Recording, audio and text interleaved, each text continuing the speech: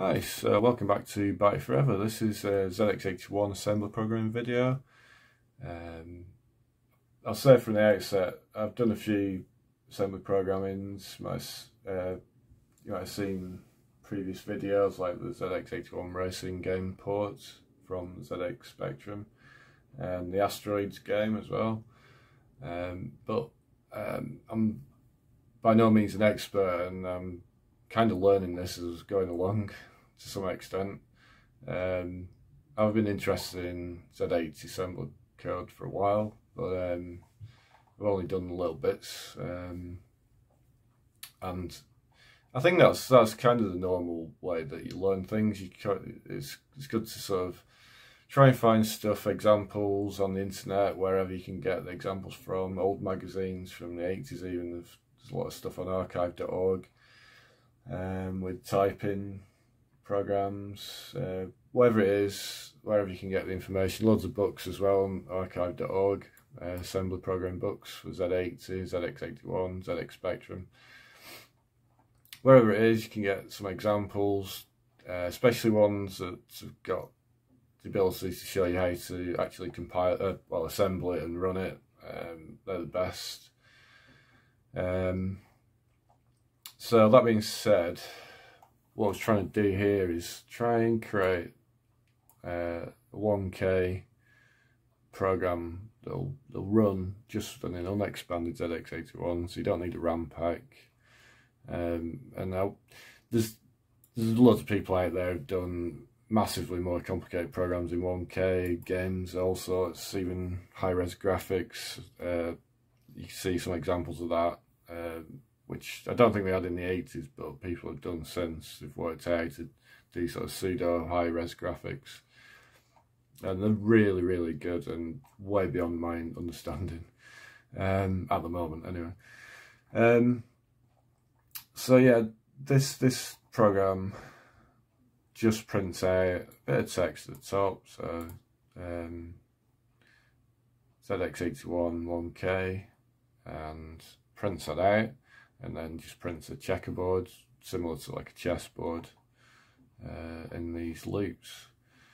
Um, so I'm using some ROM routines. These are defined in a file called um, uh, ZX81sys.asm.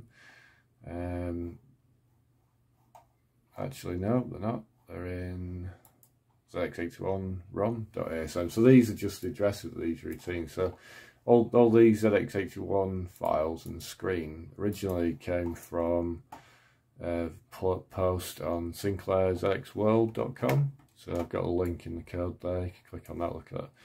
I think there's a zip file somewhere in there, a link to download these um, include files.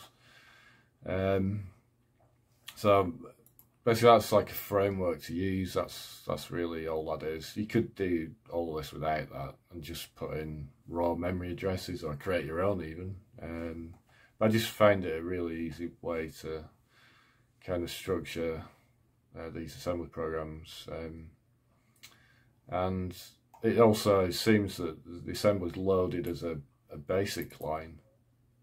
So it actually, one of the features of the ZX basic. I think on Spectrum and on the ZX81, um, you can uh, type in machine code directly into BASIC as the first line.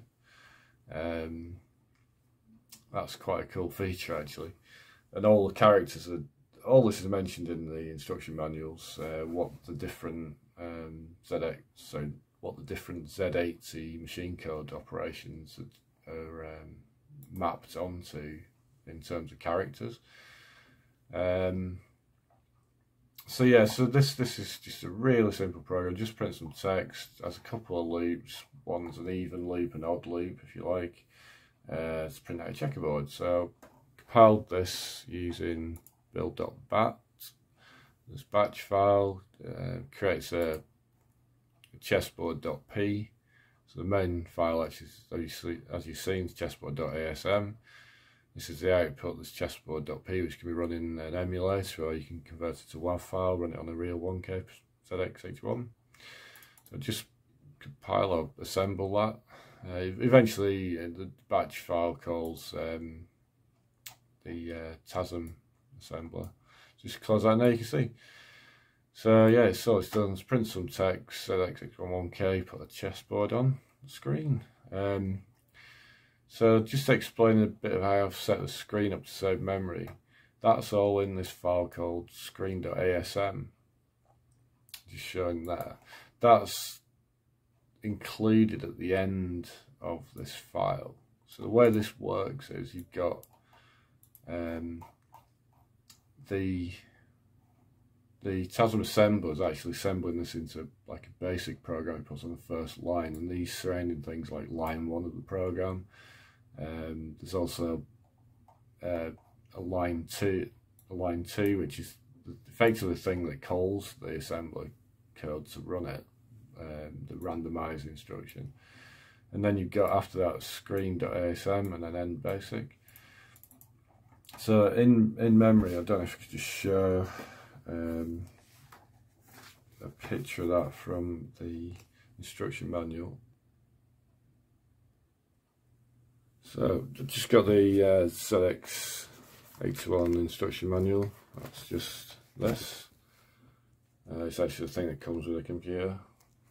Um, well, it came with a computer when it was bought new, and you can get this on archive.org. I'll try and put a link in the description. So um, this is chapter 27, the organisation of memory. So you see here, um, you got system variables, program, and D file, which is the display. That's the screen memory. And then loads of other stuff at the end.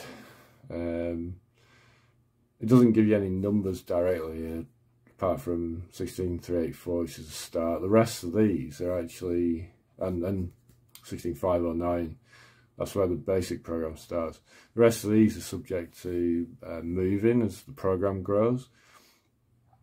Um, but the way we set this up now in screen.asm, which is actually, so this is display, we've got um, an un uh, so this is a collapsed version of the uh, display, so um, so documentation elsewhere mentions that you get this CHR string 118. So this is the start. So this is in hex 76. So that decimal 118 is 76. So the way the ZX81 display works is you've got, uh, sorry, you can actually see some of that. Hopefully you can. Uh, I'll turn the light off so it's, better contrast. So you've I'm defining, rather than 32 characters wide, I'm just defining 9. Um, and I'm also not defining full screen, I'm just defining um, 9 rows. And start of each uh, row you get this um, hex 76. And that's just the way that, uh, so the ZX81 itself will interpret that as the start of a line. Um, and these are just all zeroed. If you were to find the full thing, then that would uh, no doubt blow the amount of memory we've got available. So yeah, that's the way I've defined the screen. And if you notice when I ran it, that's the only part of the screen that I'm using. Um, a lot of the other, if I don't know if you've seen previous video of the racing game which scrolls the screen, so in that, uh, uh, the whole screen was defined, uh, and you could use and there's an instruction called LDDR, which um, combined with some register setup, it will scroll all the memory um, down, um, and that that was like a really quick shortcut. That's one of the reasons that game runs quite fast. Uh, but here we can't use that. We'd have to do something else if we wanted to scroll this around and we've also just limited to quite a small uh, screen area. Uh, you probably, I'm not sure, I haven't tried expanding it uh, fully downwards or as far as it can. Um, it might be we could make like a Tetris game or something, that might be quite good. If you could do sort of full column only, even if it's only that, you know, limited width, you could still possibly do a Tetris game. Um, So yeah, I'll put a link to this code on GitHub. Um, uh, it's quite straightforward. I'll try and put some comments in as well. Um, after you've printed the title screen, we're just going into a loop. As I say, it calls the print at route, uh, ROM routine. That just sets the current cursor position, and it's doing it from 9.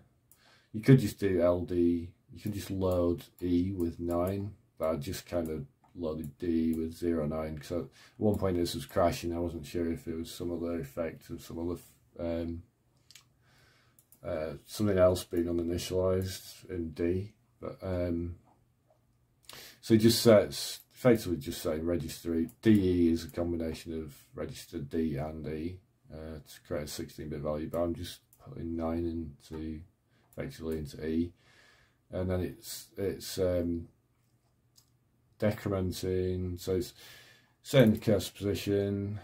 Um, working out if it's an odd or an even row.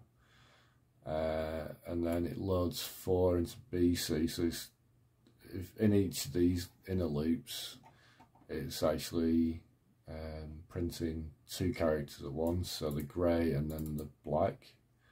Um, and then after after you've done a row, goes to the outer loop control gets the value of uh, D back, uh, decrements it. So we're drawing, we're actually drawing from the bottom upwards. As I say, I'll put this uh, link to this code to the GitHub. Um, so anyone can sort of run it and try and modify a bit just to see how this 1K program works. Uh, thanks for watching. Uh, don't forget to like, subscribe and comment. Bye for now.